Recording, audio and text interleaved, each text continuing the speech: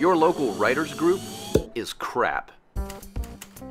Stop burning off your free time in the presence of introverted do nothings. Instead, join the Gosslings Writers Group live stream and podcast. The Gosslings, a digital gang for writers. Writers who actually write stuff, who use typewriters. Writers who name their pit bulls Hemingway. Writers who write all the people who've ever offended them into their stories, then murder the shit out of them.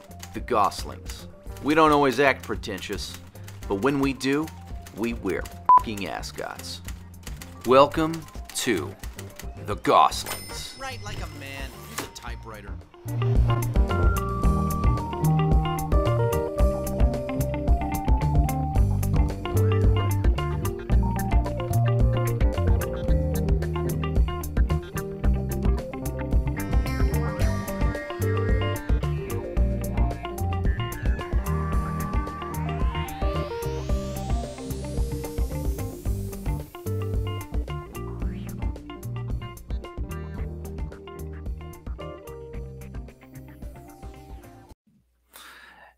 And we're live. Hey everyone, I'm Jonathan, And I'm Nick. and we're the Gosslings. And uh, it's been a while, but we are coming out of the gates. Uh, we haven't done one since uh, December, I think. Happy New Year, huh? Happy New Year, yeah! And we are coming out of the great strong with uh, the man, the myth, the legend, the Man. Jedi Master of writing himself, Steven Pressfield. Round three. How you doing, Steve? Okay, Jonathan. Hi, Nick. How you doing? Hey, Great we're to see great. you. Good Man, to see you. Really well. Um, you want to do the toast with us, and we can dive right in? Sure, let's do it. Yeah. All awesome. right. All right. Let me, uh, I'll let you start. Yeah. Okay. Yeah, I please. appreciate that. Thanks. of course. All right. Take up the broken sword of your father. And strike down the darkness. All right. Cheers. Here it goes. Mm. Well, Steve, we have a ton of questions for you, but um, before we get started, um, what's the news on uh, A Man at Arms? Is it uh, is it out in paperback yet?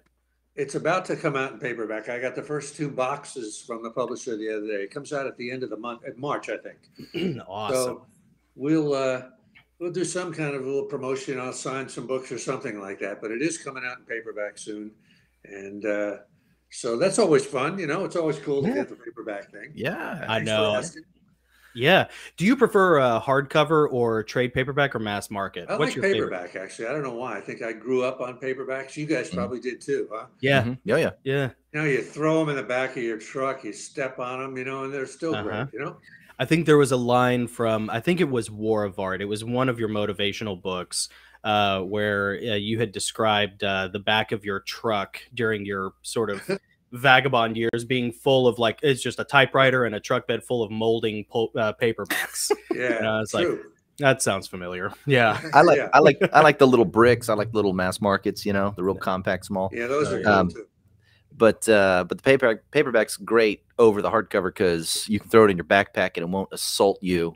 Yeah. You know, if it's if it's like s- crammed in there, Yeah. you Oh, yeah. feel the corners jabbing into your shoulder or whatever. I always loved trade paperbacks just because like they were they're a little bit you know in between hardback and uh, mass market. They're a little easier to read than you know mass market, but you don't have the dust jacket, and it just they're so convenient, man. So I'm really looking forward to a Man at Arms uh, coming out. And, Even better are like the advanced copies, you know, that are Yeah. paperbacks. You know, but there's they got mistakes in them and everything, and oh yeah, they, they seem more funky and more real. uh huh. Yeah. We have that Yeah. same thing, even as uh, especially as like uh, independent you know authors who go through Amazon will order proof copies you know for ourselves Yeah. and that's my final stage of editing is uh, the proof copy phase It's proof Well, you that I guys, just suck. thought about this. I got to ask you. I don't want to do this now, but sure I'm having to crank up my own little publication company with my girlfriend Diana. oh cool And I may really want to confer with you guys because you've done it. I mean, we've got like I'll show you my little board here. Yeah.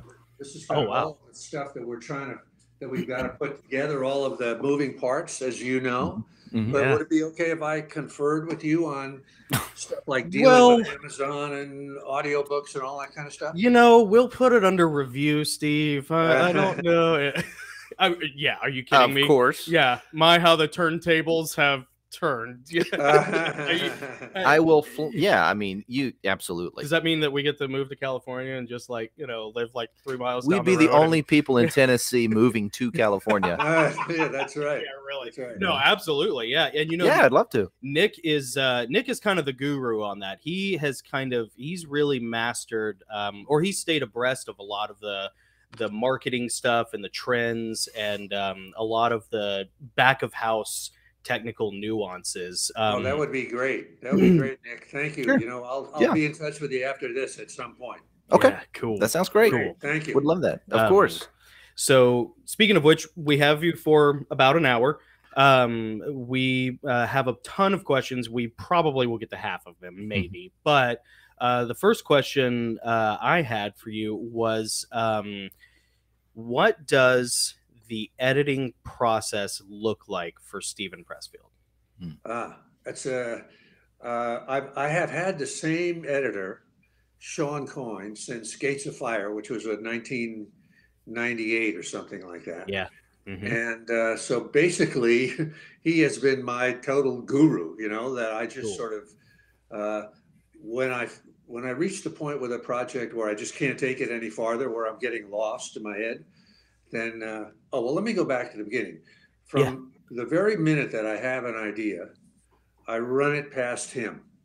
You know, with the uh, you know asking him first of all, is it any good? you know are you know would anybody is there any commercial prospects for this or whatever um, and he will usually give me the okay uh, based on or or he'll direct me in a certain way like um, uh, you guys are game for a long answer here No, it's great. Go, absolutely, please. yeah, please. Absolutely. i'll give you a longer answer Okay. like, um, when i was i had the idea to write the Lion's Gate which was a book about the Six Day War, Israel, the Israel Arab Israel War Mhm. of 1967. So I first uh, I laid that idea on Shawn, and the reason I and I started with it saying that you know I've written books about the Spartans, about the Macedonians, the Athenians, the, but I've never done one about my own people. You know, Yeah. so I really wanted to do. Plus, it was such a great story. You know, Yeah. E- you know Israel outnumbered 40 to 1 and in 6 days won this great victory. So I thought I asked him, you know, should I do this as fiction? Should I like invent uh, excuse me, here's a phone. Yeah, yeah, no problem. Should I do it as fiction, you know, and create characters, you know? And he said, no, no, no, no, no, no, no, you can't do that. Because there are uh, the, the war is so recent that there are thousands, tens of thousands of people who fought it, you know. So, Mhm. and actually, it turned out that Herman Wouk, you know, who wrote the Caine Mutiny and, um, you know, Winds of War, I mean, he wrote a couple of books about the Six Day War as fiction. And uh, I'm sure they did a lot better than mine, but I, when I read them, I thought this was a mistake. So Shawn said to me, you got to do it as narrative nonfiction. Now, I'm, I said to him, what's that? You know, this goes to show you what an idiot, you know, I could be after like 30 years of working. So he had to like sort of give me a course in what narrative nonfiction was. And um, what did he cite me? What was that? Uh, Band of Brothers, it was a book and a movie about Mogadishu, about the U.S. forces. Black Hawk Down. Somalia. Yeah, I'm Black Hawk Down. Black Hawk Down, I think. Black Is Hawk right? Down. Yeah. He Yeah. said Black Hawk Down. That's narrative nonfiction. In other Yeah. words, it really happened. It's true. It's nonfiction, but it's told as a story, so that the the writer interviews everybody that he possibly can, Mhm. and then shapes it into a story. You know, establishes a theme and where does it start, and what's Act One, what's Act Two, Act Three. So Shawn kind of instructed me. Said that's what you have to do with this book. You got to go to Israel. You got to interview, you know, as many people as you possibly can, yeah, and then you've got to you've got to shape that raw material into what you think a story is. So that's part of what an editor does, at least for me. Like he actually defined a genre for me that I was clueless about. Hmm. But in terms of uh, fiction, to keep going with our long our long answer here, like um, with a Man at Arms, when I finished the manuscript, I sent it to Shawn, and he usually sends me back you know, like a 12 page or 20 pages of notes. But in this case, he went through the whole manuscript with a track changes Mhm. thing, you know, that Yep. thing you do on the side. Yep. And Oh, like yeah. he would say, uh, he had like maybe four or five kind of major points that he wanted to make. You know, like there was one character that I had, uh, uh, the character of David. You guys have read the book. Mhm. Yeah. The character of David, uh, uh, who was the young boy that follows the hero. Nick's as kind of favorite a- character. The boy. Yeah. And I had him live at the end, and Shawn said, "No, you got to kill him.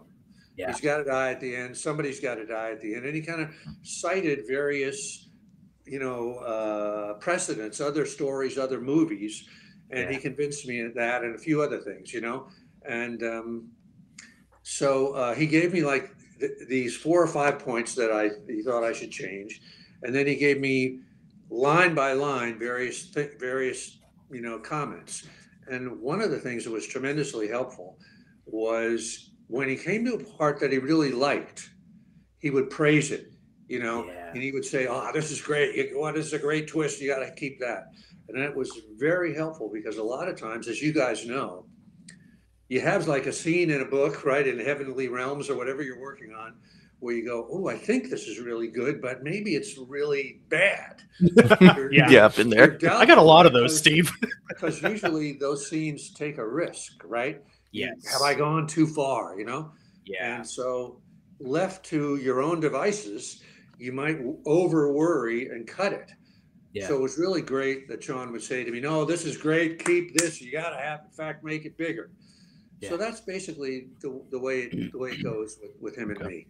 Um, in some books, he has really sent me back to the drawing board. You know, for like Really? another nine months of work, that kind of thing. But Wow. in, in the latest Wow. one, it wasn't too too bad. But sometimes he has.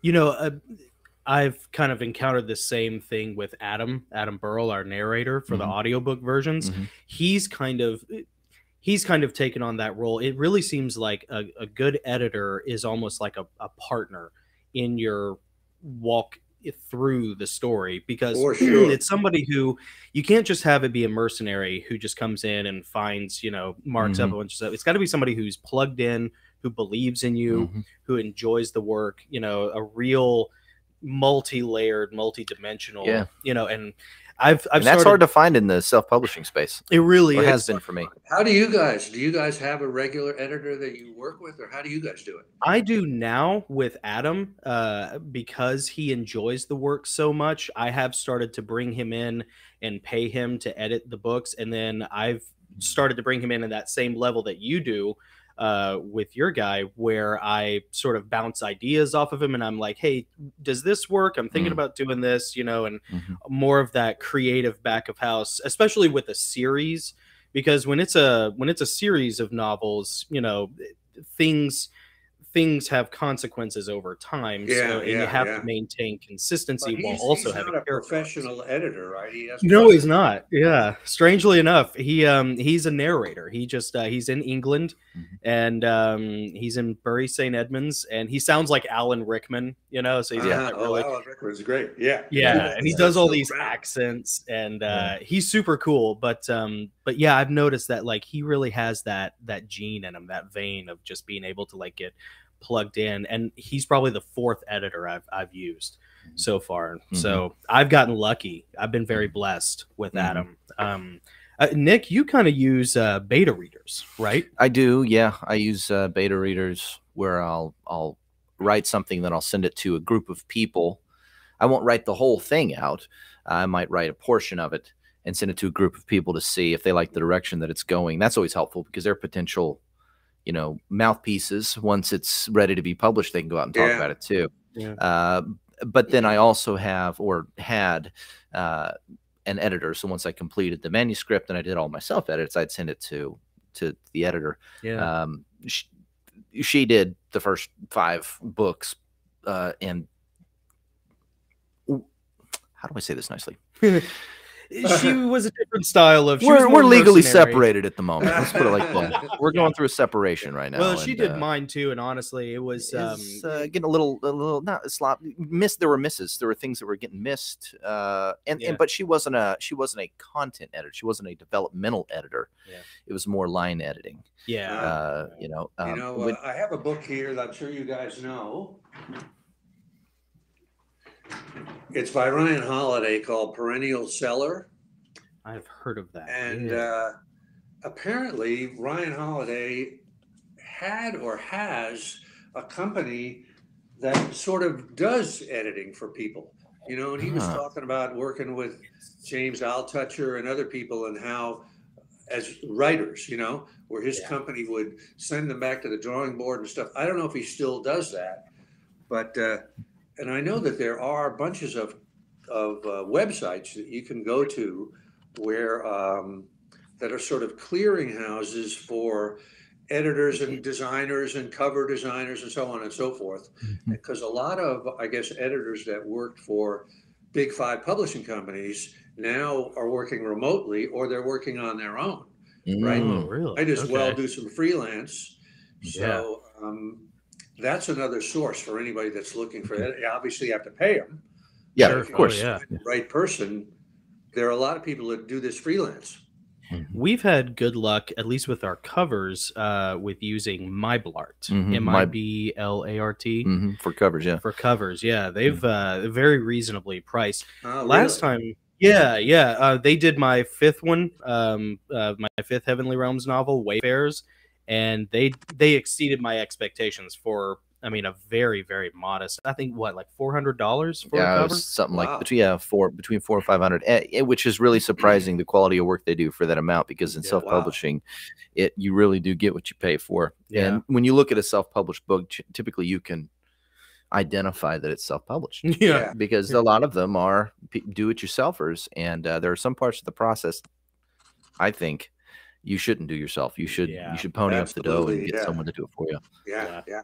Um, and then uh, I think there was a website you had mentioned last time about uh, editors. That was a pretty good one to fall back on. I'll uh, if if you don't remember it off the top of your head, I'll post uh, or I'll give a link and we'll post it. Maybe below. it's Shawn's thing, storygrid.com.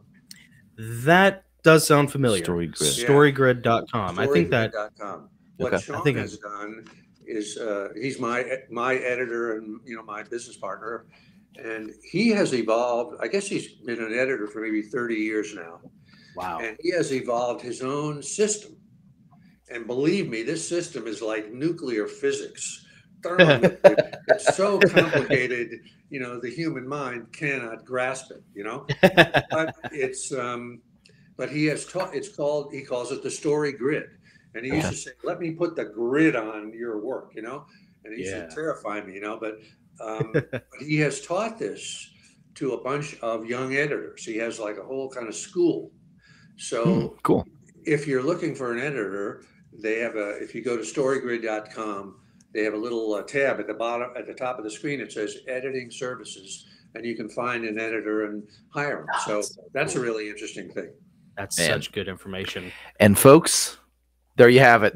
I mean, know, just that right? alone yeah, that alone can is solid. That's so solid much. gold. Thank you for So- sharing that, Steve. Thank you. When I'm you're check that out. when you're done with um you know let's say you're done with the manuscript and then uh, you send it off to your editor for him to maybe give it a final once over do you then get it back and do you comb through like a, a proof copy do you make notes on the page do you read it out loud like is there any sort of final process for you that um that is like the stamp of approval or do you just send it off and wait for I, him I mean, I just do it the normal sort of thing. I, you know, the I go through the manuscript on track changes. You know, the Yeah. last thing is it'll come. You know, you've already had a copy edited and there's little things fixed. Mhm. and then I'll just go through it and you know fix a few little things myself. But the Yeah. big point, I think people mistake an editor, uh, like new writers. I'm sure you guys have the same experience with people you've talked to, where they think, oh, an editor just fixes the punctuation and you know changes the capitalism, but a real editor shapes the whole the whole thing, Yes. shapes the Yeah. whole book Yeah. Yeah. you know, and tells you. If you think of a parallel, I think of uh, like uh, a band that goes into the studio, right? And Mhm. and they have a producer, Yeah. right? You- And you think, um, have you ever read read read Bob Dylan's book Chronicles? Part No. two or whatever. it is? No, but our father was a producer for 50 years. Ah, then you know what I'm talking about. Yeah, Like he yeah. comes, you think Bob Dylan, he's got like 10 songs and he's got them like on his own guitar, right? Yeah. And maybe he's got a band that kind of comes in and does, but that's not at all what the record's going to sound like, Yeah. right? That's, or like the Beatles, if you think about uh, uh, Pete, Wo- George Martin was their producer, or um, for Fleetwood Mac, Lindsey Buckingham was kind of the producer, and they would give it the sound, right? Yeah. And Yeah. so Shaping it. there's a huge difference between the song on a guitar or piano and the final product, you know. Yeah. So Oh yeah. that's what an editor really does. It's really like finding a wife. it seems like in a It way, you know. It really is. If you've got a great editor, you're halfway home. Yeah, you really are. Man, that's so cool. Uh, I love it. Then that's the type of editor that I've been. That's what I need.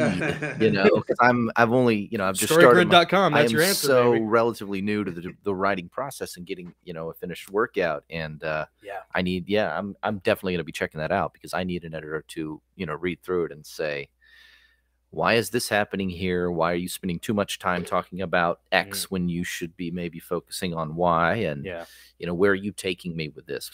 Well, that's the trap. I don't of- get this character. You know, I need those things. the the trap of being a, a novelist especially is that it is such a solitary experience and you can we all can fall into that ego trap of thinking like okay well it's just me so it's just gonna be me but Mm. i mean uh, making a writing a novel or publishing a novel is a lot like making a movie in that like collaboration can be the key to success and getting outside your own ego and listening to other people because you get smell blind to your own stuff you Yeah. know? Yeah. so Smell blind. Yeah. I like that term. uh, well, I'm smell blind about everything. That's a great title. Um, Yeah. What's your next? uh What's your next question? Well, my my question, my next question was going to be, how long do you, when you're writing something, and it kind of ties into the same thing, how do you know it's done? How do you Oh, know it's how do you know it's ready to? Let's say you get, have an idea, you go to Shawn, and he's like, "Yes, go with it. You should definitely write that." So you start writing, and how long do you pour over that, and you know, kind of poke and prod at it until you feel like it's good to like send it to him officially? How long do you Uh, f- allow something to simmer? Yeah, it's a, that's a great question, Nick. And like the, uh, um, there's a there's a trap that your own self sabotage, your own resistance with a capital R, Yep. will will lead you to, and that is over perfectionism in getting something done. Right? You, it's really ready to go, but you feel compelled to keep noodling with it and keep Oh, yeah. rethinking it. And the next thing you know, you've just driven yourself into a corner and you're absolutely crazy. And I'm more of a fan of it- it's sort of an instinctive choice for me. I just sort of know this has reached the point of diminishing returns. You know, I'm Yeah. not, I'm getting confused. I really don't know where I'm going. I, I need a, I need help, you know, like, uh, there's a story I tell about, I, I had a, a my original first editor was, uh, uh, a guy named Bart Fless. And I thought he was like in his 90s when I was working with him, but he was really in his 70s. I remember when it was one book that I was uh, coming near to the end of, and I just kept noodling and noodling. I'd never published anything, never published this first one, and uh, and in fact, we didn't get this one published either. But he said to me, "Where are you on this thing? Where are you?" And I said, "I'm close, Bart. I'm close." He said, "Close is good enough. Give it to Yep. me." You know, yeah. and I think there's a lot to be said for that. You know, Yeah. um, What's close that is phrase? Good enough because the people who are going to read it, like in publishing houses, they're not going to read it that closely. They're going to read, you know, and get a sense of, you know, heavenly realms. Oh, this is good. I like the story. I like the characters. A lot of stuff going there. They're not going to really noodle over Act Three in a transition from Act whatever. Right. So Mhm. a lot of times, close is good enough. Yeah, because as writers, being a solitary profession, we tend to get too much in our own heads And honestly, I, I've noticed that too uh, with some of my books. Not many because I'm pretty sloppy, but but like per, but perfection really can be the enemy of progress. And it's like, man, it's better to have 85% of a plan and do the plan than not do anything because it's not 100% perfect. yes, you know? I couldn't agree more. That So- being said, you know, the manuscript should have no mistakes at all Yeah. in Yeah. any, you know, it can, you know, maybe act three is all wrong, but there shouldn't be any typos or anything like that. None. right. Yeah. And Mhm. that's, uh, By the know- time it goes to the publisher, you mean after Yeah. you know at, yeah. you Although it. they can screw up too. I've noticed that. I found a typo in Dune. Dune. Ah, It's like four. It's page four hundred and twenty-seven. It's a very modest one. It's one that very clearly they had made some sort of Mhm. editorial change. It was very minor. It's grammatical Mhm. in nature, and uh, but it, yeah, it was there. at Dune. I mean, that's Yeah. like one of the icons of you yeah, know. yeah. That's the thing about you know self-publishing a book is that Yeah, it there's is no safety. I'm the net. publisher in that scenario. It is all on me. It is all my fault if there's an Yeah. error. And you know, we published and we found we found typos after the fact, after Oh, yeah. after combing through it, editor going through two rounds of solid editing, you know, proofreaders, Yeah. proofreaders, Yeah. on top of the beta readers and the editor and Yeah. my self edits, and it we published, and one of my readers said, "Uh, Yeah. got a typo." mm-hmm. Uh, Yeah. yeah. Jeez. Or what, it hap- what I'll get sometimes from is readers will write in like uh, in um, uh, one of my books was set in Brooklyn, and I had like a car chase and it's going down this street and that street and the other street, and I've been like combing over maps and everything. And uh, a guy who was a reader who's a writer himself, he said, "Oh no, no, no," he said, "You know, Bumble Strick Avenue is a dead end. You know, you, you guys would have crashed into it. You know, the piano store." Nice. So I had to, you know, change all that. Was that the was that the knowledge? Uh, no, it was 36 Righteous Men. Oh, I have that book. I haven't read it yet, but I want to. Yeah, yeah. I got uh I got the whole Pressfield library like sitting with all of my other Hey, you know Speaking books in the of speaking of your books and books you recommend, last time we talked, you recommend uh, the moviegoer, and Ah. you also recommended me reading the Symposium. Mhm. Uh, Ah. and I was really wanting to read Tides of War, and uh, I said, well, you know what? I'm going to read the moviegoer first. Steve recommended that book. I'm going to read it. Loved it. Yeah. I thought the ending was great. Yeah, great ending, Uh, isn't it? Really great ending. And I had just come back from a trip from Louisiana, New Orleans, and so all Ah. these things are still fresh and vivid in my mind. So it really made it come alive even more. Uh, but I really enjoyed it. I'm like, cool. Now I'm going to read the Symposium, the classic. I read Symposium up to the point where Alcibiades comes on the scene, Ah, the good part. the best part, and I was like, I love this guy. I I'm just gonna go straight to Tides of War. he couldn't And I resist the did. temptation. I, I haven't finished the Symposium. I went straight to oh. Tides of War. I'm about halfway through it. well, you'll have to go back to it. Yeah, yeah. but Yeah, that was isn't a, the, that's a great. It's such a great scene when Alcibiades appears, you know, drunk and Drunk, comes yep. in, you know, amazing. You think like these guys, Plato, writing in, you know, 400 BC, can't really be funny or really tell a vivid story, but boy, they can. You know, it's just Oh, like yeah. reading They're Philip humans. Roth or something like that. Yeah. Yeah. Yep. Um, well, speaking of characters, my second question for you was one that I've often thought of, um, especially given your your pretty colorful background.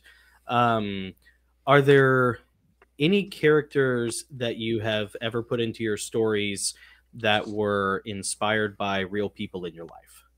Ah, that's a that, that's a great question, Jonathan. And what uh, the first three novels that I wrote that never got published, that were terrible and deserved to stay in a, in a, the drawer, were all based on real people. You know, sort of an ethic uh, for me that you had to tell a true story, otherwise you were cheating. You know. Oh, right. And Yeah. At some point, I just I vowed to myself I will never write another story that has a real person in it, and I'll never write anyone that has a character based on me in it. You know. Oh, yeah. And, and that until like the knowledge, let's say, but Yeah. that was 30 years later, and that was very liberating for me to do that. I said I'm just writing pure fiction from now on. I'm making everything up. Yeah. So no, I have not, but a lot of people do. But Yeah. uh, I want to show you one thing while we're, we're talking about the moviegoer and Walker Yeah. Percy. Yeah. I, uh, I I might have told you guys this story, but uh, I had a dream. Walker Percy is this amazing writer that wrote The Moviegoer and and lived in New Orleans and was a, a doctor, a medical doctor, a bunch of other great stuff. The Moviegoer won the National Book Award for Fiction, I think, in 1962. So I had a dream where I had uh, I was reading a, a, a book and there was a passage by Walker Percy. Did I tell you guys this story? I think I think so. Does it involve a letter? Yeah. Yeah. And When I woke up. I remembered the dream and I wrote it to him a letter. And I quoted what he had written. And I said, you know, it was like a paragraph. And I said, don't blame me if this is shit because I didn't write it, you did. So he wrote, he wrote me back. And I, I found it. This is this That's is the letter. He wrote me back. Wow. That- man, that's And, cool. Uh, here even is the here, here's the even the uh, a note, and this goes to show you how people are a little different. oh wow, Hey, look at that. And he said, "Come on buy the house. You know, come by. We'll have a drink and blah blah blah." And unfortunately, he died before I could take him up on it. Yeah, What a what a great guy to send a thing to. You know, that is somebody so cool. send him a you know a crazy note. How old were you when you wrote that? How old? Yeah. Uh, twenty eight, something like that. Okay. Yeah. That uh, that makes me feel a little bit less self-conscious about all the emails I was writing, Steve, in like 2005, 2006. and it just walls of text and like Steve, you're so generous. You know, I please do not do this now. Steve is far too busy for the, you know, but uh but he would write me back and Yeah. uh you know and it, those were like i saved all of those That's awesome. dude gates of fire it's my favorite book of all time it's so cool so like Yeah. I mean if you had asked me 20 years ago like you know hey you might get to you might get to like interview steven pressfield i'd be like whatever Yeah. no you know but yeah here we are and that kind of ties in that ties into one question uh, Yeah. that, and a lot of I know this about you but a lot of people might not know uh, what are some things that when you sit down to write you're overcoming resistance you're kind of summoning the muse and there are items you have actual things unique things that Oh, are the special acorn to from you Sparta. yeah what are some of those things and is that letter one of those things that you keep Your near totems. you totems yeah when you're writing talk about that a little bit talismans Well, I do have a bunch of little things over. You know, I I don't want I won't show it to you, but over right over there is my I have a little altar of various items that uh, I consider to be lucky. Like one is a an acorn from the battlefield at Thermopylae, but another one is a this little cannon that a, a friend of mine gave me There it is. from. Uh, I don't know if you can see it Yeah. from uh, Morro Castle in Cuba, and I always point it at me when I'm writing so it can fire inspiration into me. i Um, love it awesome You know, it's so it's such a mysterious Mm-hmm. process that you just need all the crazy shit you can find to uh-huh any kind of any sort of talisman that you can glom onto. You know, having you know Walker Percy's letter here is just a great thing to have around. So Mm-hmm. yeah, I I'm definitely a believer in superstition. I always pick up pennies off the ground. You know, Mhm. Mhm. Yeah. yeah, it's uh, it's sort of like a uh, all-star baseball player with his lucky socks. yeah it's Yeah, like does it make sense? No, but you know what? Uh, the the numinous, the Mysterian, you know, the logos, none of it makes sense. That's that's Yeah. the faith of Yeah. you know just whatever that is that's beyond us. You Yeah. know, I mean, look, Um, you guys with your typewriter thing. I mean, I got my lucky Yeah. typewriter here. I know I don't use it. awesome. Yeah, I have it there. Yeah. yeah. And That's when cool. just having it close, it's Yeah. that you got that some of those things too you Oh, keep some of yeah, those things i've yeah. seen some of those things Yeah, I got I got my little reliquary, you Yeah. know, of all my little totems and talismans and Yep. things from vacations and trips. You know, we took a uh my our dad and my mom and um our younger brother uh and I we got to go to Prague in 2005 I think 2006 um and uh cuz he the string players over there dad would do orchestra sessions and the string players over there are it's cheaper to fly him over there and pay them and they're better than the people here Mhm. than it is to use the union people here anyways you know Oh, really? Wow. yeah so we got Yeah. to spend four or five days in prague and i filled up a notepad of ideas for a book that um, is almost completed um, only been working on it for 17 years now uh, about a blind mercenary hoplite after the Peloponnesian War you know, Oh, just his experiences. But just being in that European city with the cobblestone and the cathedrals and the Mhm. hustle and bustle of people and the the bazaars and Mhm. the crowds with all the different languages, it just you know. But you get little totems and talismans. Like uh, I got a um uh, a golem from the Jewish quarter when I was Uh-huh. there, you know, and I I set that there. It's part of my my little you know Mhm. a collection and uh, and every time i look at that i just start remembering things from prague you know That's that- neat. yeah That's neat. so um so i got a tough question for you um and i wrote this down very specifically resistance knows our kryptonite what is yours uh, that's that's a great question. Um, you can plead the fifth if think you want that- I don't know if I really have like a real, you know, kryptonite, kryptonite, but the way that resistance can can really fool me a lot of times is it will come up with legitimate reasons Yeah. why I should slough off. Mhm. You know, uh, some reasons you can just see through. Oh, that's bullshit. You know, but sometimes they'll say, you know, your your brother is in is in a little bit of a bind. He really needs some help. You better go, you know, drive up there and talk to him, and that, and that'll be legitimate. You know, be Yeah. a real deal. yeah and, um, absolutely Mhm. So that's that's tricky. You Man. know, that's It's tricky sort to of- navigate those things.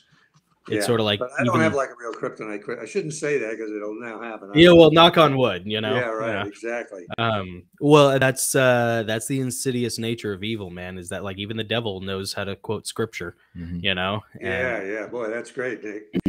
I mean it, it can use Jonathan. it can use the truth. So Uh, for for me, this it it changed for me. It Really? it comes in different forms, but yeah. like this week, it's been the news. It's been the news this week. Oh sure. Yeah, with You all know. the stuff going on. Yeah, Uh, I cannot thing. pull my head. That's out of it. legitimate. It's legitimate, Relevant and, and it could impact us. it could you know? impact us. It, it will next time you need to get gas, yeah. you know? Yeah. Um yeah. Um we were gonna ask, yeah. Uh, we were gonna get your thoughts on that, Steve. Uh, we can some we can do but- that later because I know there our Yeah. other writing related questions, but I would sure. like to if we ask time. some questions about that at some point if that's okay. Sure. So, okay. Uh, my next one. Let's see, which one do I want to go with? Uh, Steve, it's it's sad. I provided twelve questions just on my side, and Nick had like Nick six has three, more. I know, so yeah. you're right. Yeah, And yeah, really so- thin, yeah. yeah. We'll we'll I- literally get to like a third of. I actually so there's a, there's a friend of mine uh, named Dave, and uh, Dave is also a big fan of you, a big fan of your your books, and he wanted to know if you uh, if there ever might be something on the horizon where you write you're writing a story about. I mean, a man of arms it happens during the Roman Empire, yeah. right? The Yeah. the, the First emergence of. Christianity, right? Mhm. First century Rome. Have you ever thought about writing a story uh, that is uh, that that focuses on like a, a recognizable historic Roman figure in the Roman Empire? Oh, that's cool. Um, I I have not, but your friend's name is Dave. Dave, yeah, Sometimes I have found when people ask me if I've ever thought about writing about such and such, and I bet you guys have Yeah. found this too. It's really they, Dave. He's the he one. should write that book. yeah, Yeah. That's his form of resistance. He has an impulse Ah. to write this book, and his form of resistance is, well, I'm not good enough to do this. Let me ask so- uh, an established writer. You know, it could be me, could be anybody. Yeah. So I usually say when people uh, approach me on something, I say, you should write it. And Yeah. a lot of times people will immediately respond and say, well, you know, you're right. I really should. I really am. checking. And uh, yeah. so, yeah, I think that that was what I would say. No, I haven't really thought about that. I just uh, maybe I should, but I haven't thought about that. No. Mhm. Well, there are plenty of characters to plenty of historical figures to go around. Did you ever read uh I think you did because I think I know about it because of you. Wallace Breem's Eagle in the Snow Yes. about General Maximus on the Rhine. Yeah. Yeah. Man, that is that is like I always considered that the Roman equivalent to Gates of Fire. Like Uh, those two books. I actually have it here, and I usually Do don't really? have people's books. In fact, I'm looking at it right now. Oh, no just thought, kidding. "Ah, that's it's just such a great book. I just wanted to you know keep it on the shelf. Yeah. Uh, it's uh yeah for anybody who you know and they they really actually cribbed a fair amount of uh of material from I uh, from that I think for the movie Gladiator. It, it was part of the Matrix, you know, because the Mhm. general is named Maximus and he's fighting the the Gauls or the or the Germanic tribes on the Rhine. Yeah, if uh, if anybody if anybody likes Gates of Fire, but you want like the Roman version of that, Wallace Breem's Eagle in the Snow. Mm. It is it is a Yeah, cool a great one. Yeah, book, definitely. and it and it's got a great drama to it. So and it's it's kind of hard to read in A a, little bit. good sense you know in the good sense that like you feel like this is so real Yeah. i've really got to focus and bring my great my reader's attention to this because it's so you know it's so true this this guy this writer really did a job on this And he I, did. reader, have to get it with it get with the program Yeah, that was uh that was something that I really noticed. He he got the industrious when they're building all the fortifications and they're reinforcing and rebuilding all the towers along the perimeter. You really get that industrious nature of uh, of the Roman mindset of like let Yeah, nothing yeah. go to waste. You know, it's Mm. very uh very left brain, very mechanical. yeah you yeah know um, i feel the same way about uh, about your greek fiction as well gates of fire tides of war especially virtues of war you know you have um, you have such an artistic and elevated uh, vernacular and diction to those. It really every time i read those books i was learning new words you know but not in a not in a me frustrating too right yeah yeah i tell everybody Yeah. after like 80 I like pages your word, Jonathan. Reliquary. That was a great one. You just pulled that right thanks. out the top of your head. You see, he does this all the time. He's got this vocabulary on tap. Yeah, it's I don't know how he does it. i'm useless at It parties shames Let me. me tell you. so, um, did you have another one, or is it my turn? No, it's your turn. It's my turn. Yep. Okay, cool. Uh, let's see. Yeah, we'll do. Uh huh. I'm just trying to figure out if I want to. So many good ones. Um. Okay. Yeah. What is your so? This is something that I, I often uh, wonder about uh, about you know seasoned professional successful writers. What is your favorite and least favorite stages of writing? Stages. Yeah. Hmm. Ah, that's a that's a great one. Um, I think it's it's great fun. and I'm sure you guys will agree with me when you're just have the idea and you're sort of fleshing it out. Yeah. You just have a, a little sort of a kernel of it, but you don't have the whole thing. And it is kind of great fun to because then you don't have to really get into is this going to work or not. You know, you're just trying to yeah. you know. Um, I do that. That's the my favorite part because I do that with my kids because I write kids books.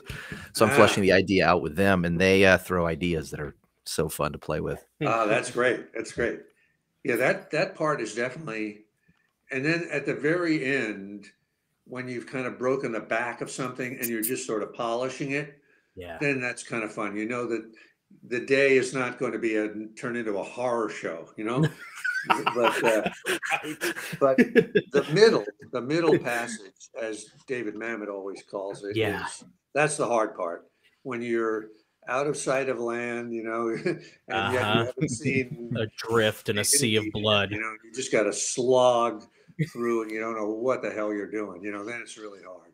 I think that's uh I think I picked up the phrase it's one hell of a slog from Pressfield's books. I think and I use it in like every single one of my books, you know. Uh, well, it is that it's always that middle portion, you know. Um like with the first Heavenly Realms book.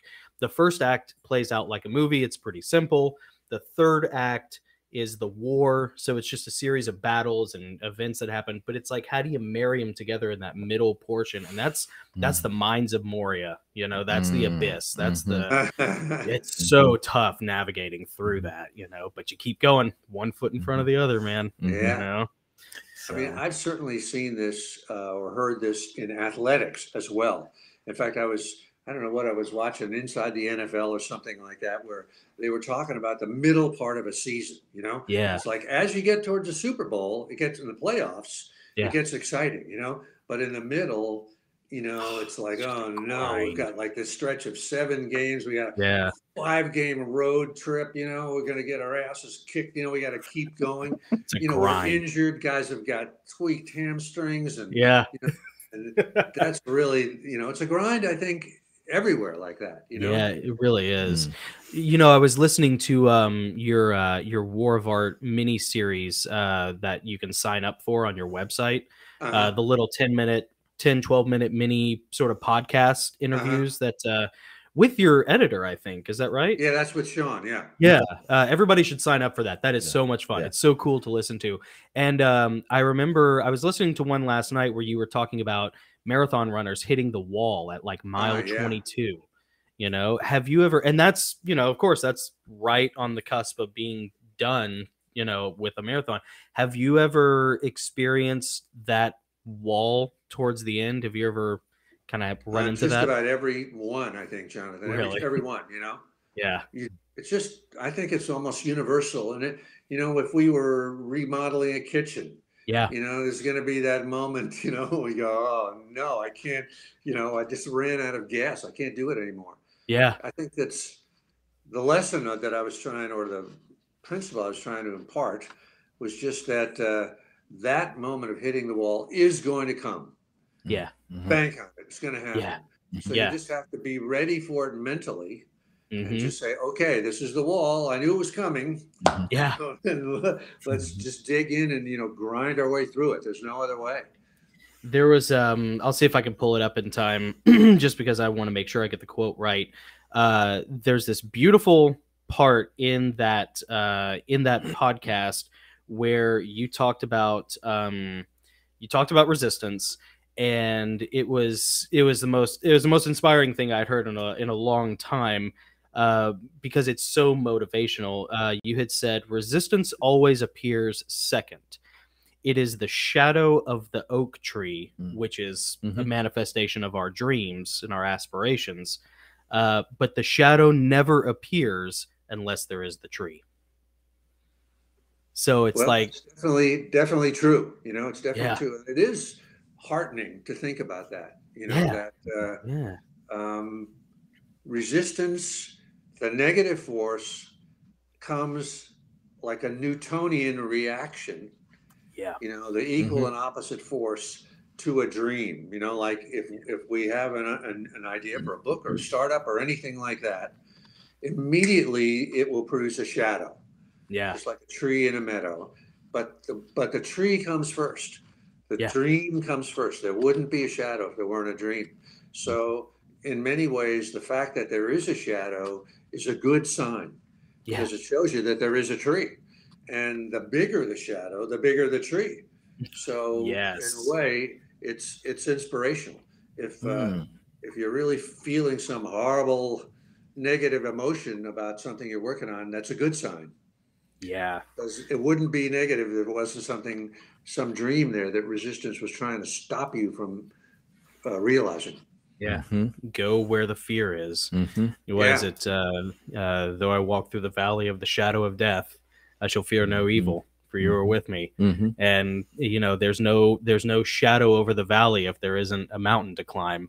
And at the top of the mountain is the sunrise, man. You know what's scarier than walking through the valley of the shadow of death? What's that? Just standing there yeah, and not walking. moving.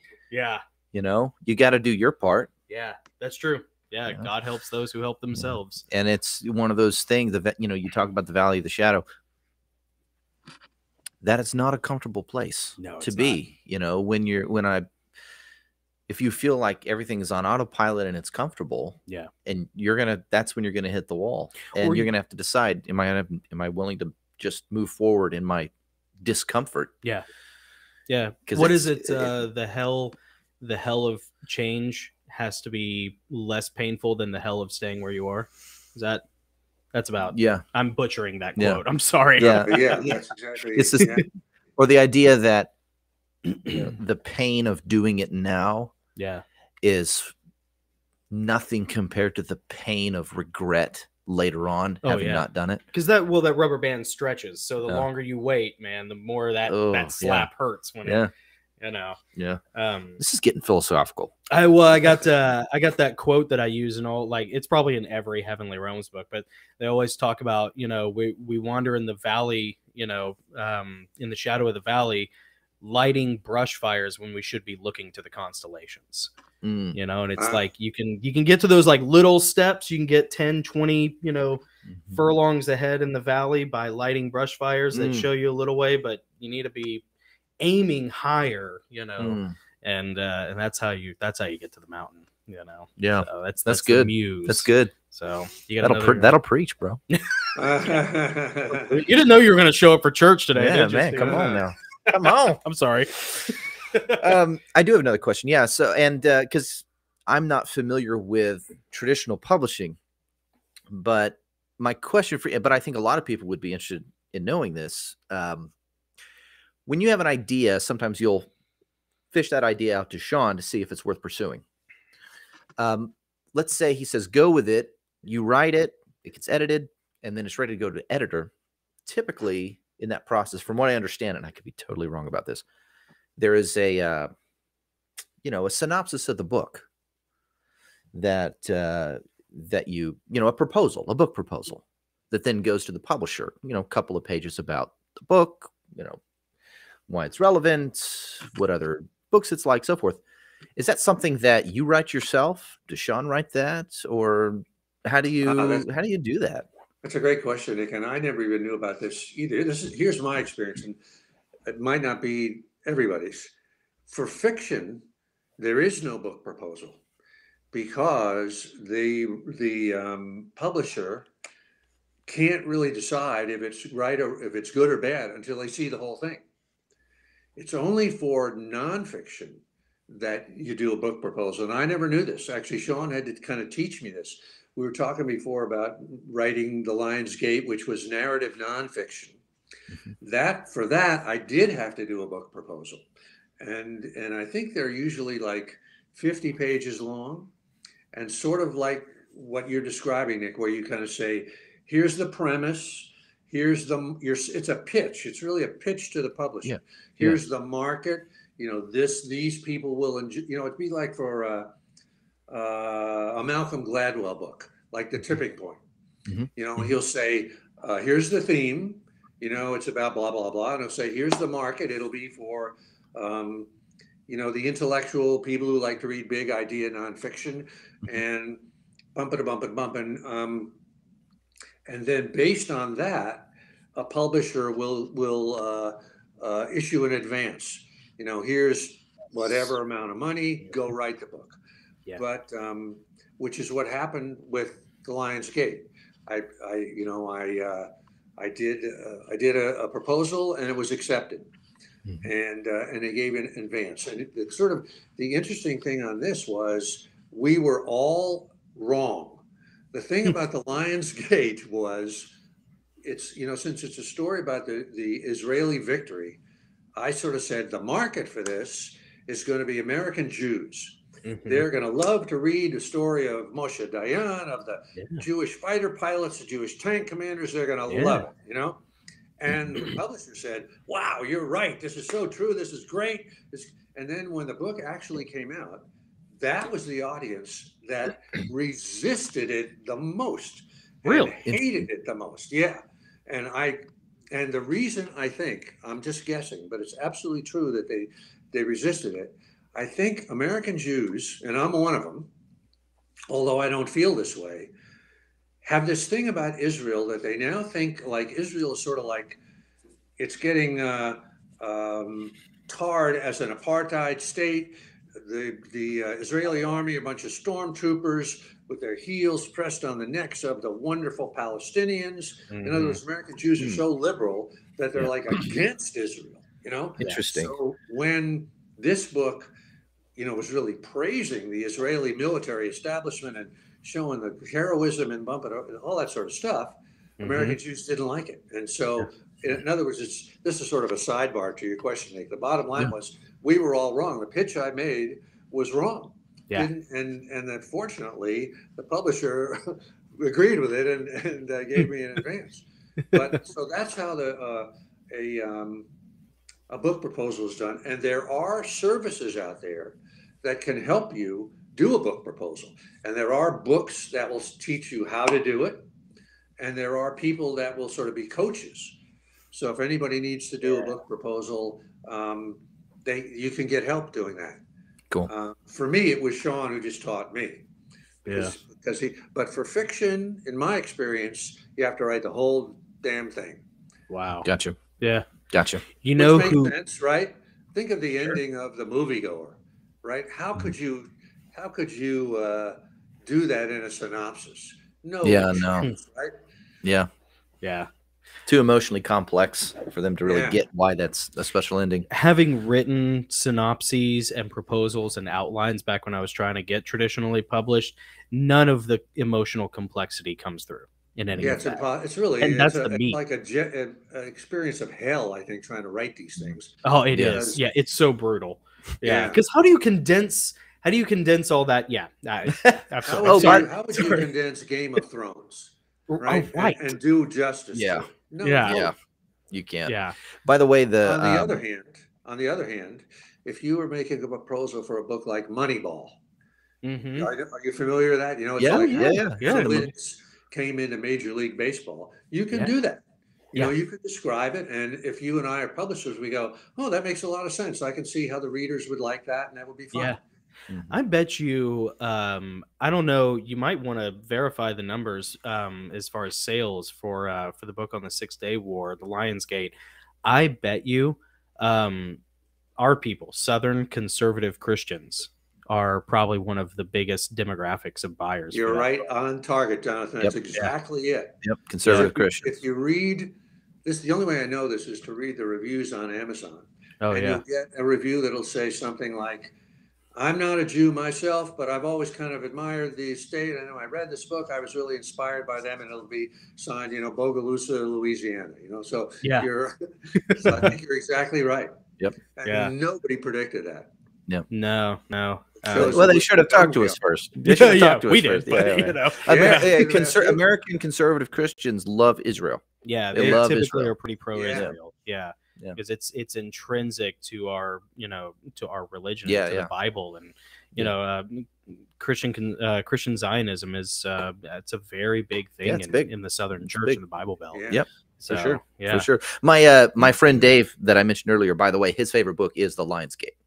Oh, really? Yeah, he made good sure that. I knew that right out of the chute. Oh, that's funny. He's like, yeah, that's my favorite book of Pressfields. He's read everything, but that's his favorite. So So we have a ton more questions, but we only have a few more minutes. Want to be very respectful of your time and very grateful for it. Um, I know Nick has one more question. I have a very funny question that I want to ask you.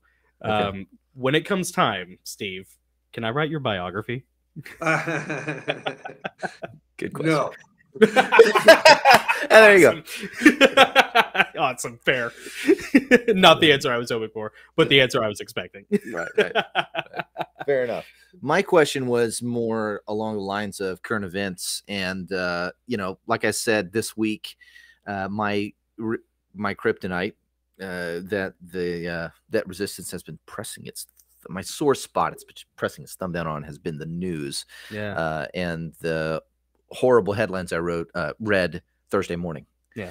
Uh, and wanted to interested to know what your thoughts on the situation is with Ukraine and Russia, uh, especially given your study of history and how you've implemented that in, in your books. I know you've done a lot of research, but you're familiar with war. You're familiar with the outcome. I'd like to know what are people going to be writing about 50 years from now about this?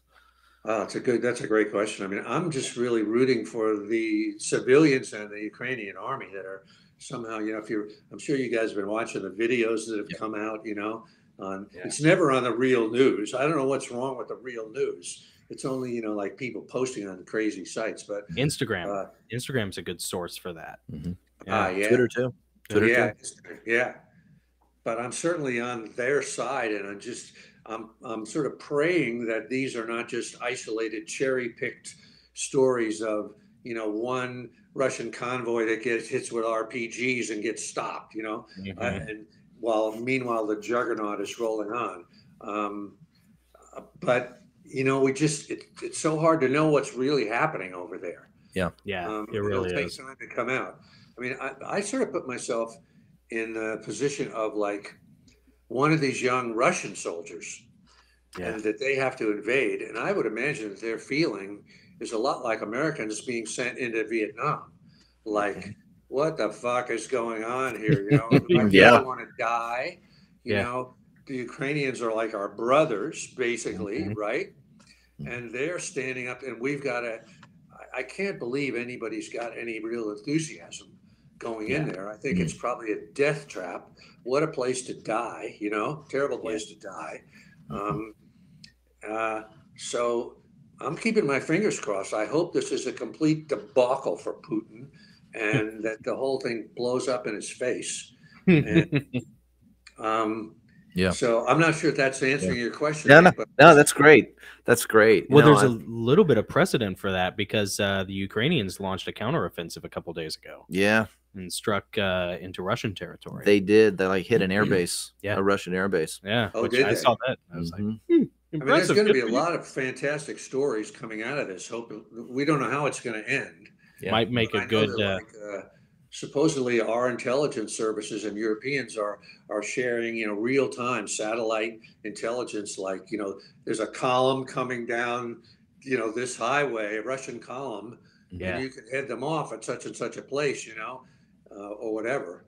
Yeah. I, I'm really fascinated to hear those stories. Yeah. Yeah. I'm sure there are all kinds of of uh, you know vets and hardcore contractor type of dudes on our on our side that mhm. are heading over there as fast as they can get there to help yeah, any way they can. Yeah, a friend of my a but- friend of my wife's uh, has a son who uh, served. Uh, he was born in Ukraine, Oh. uh, and then they moved over here when he was three.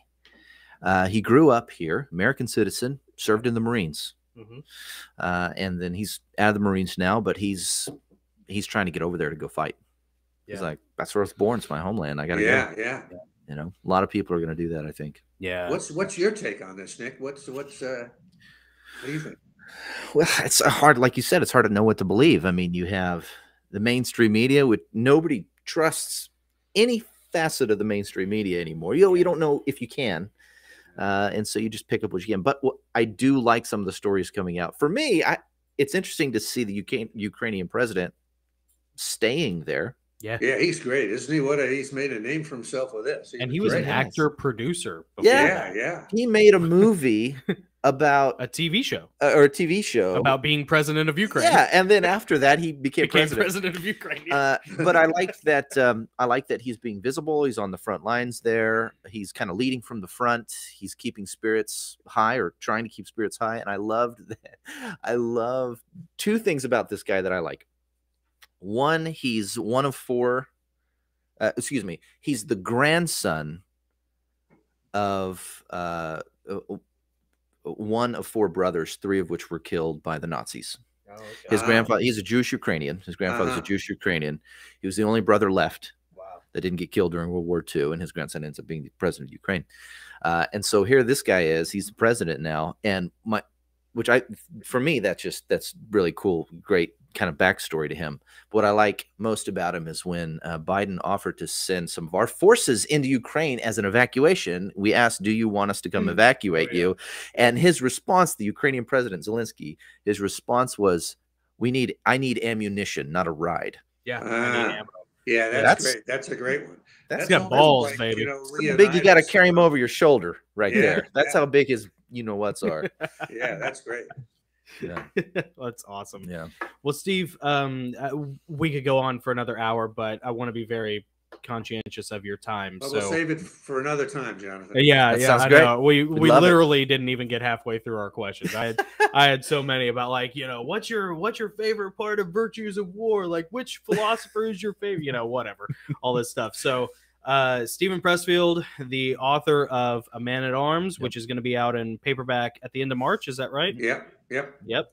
Uh, a Man at Arms is uh, a beautiful and powerful book made for the silver screen. Reads like a movie. It's uh, takes place in the first century AD. It's absolutely fantastic. Everybody should read it. Uh, Steven, you're you're renowned. You're a household name for the War of Art. You're near and dear to our hearts for Gates of Fire. Yep.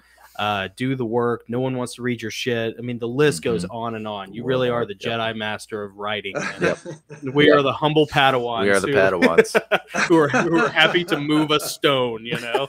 So uh, we always enjoy it. Thank yeah, you, Steve. thank you, Steve. We, we Hey, it's great hanging out with you, Gosslings. And You doing too. a toast with you. So anytime, and I will be in touch with you for some advice on uh, you know, starting my own little uh, Yeah, publishing business. man, that is absolutely. exciting. We'll be happy That to is help exciting. All right. Well, I'll I'll tell you, I'll whatever I, however I can help. Yeah. You Great. say the Thanks, word, Dave. I'm in. You bet. All right.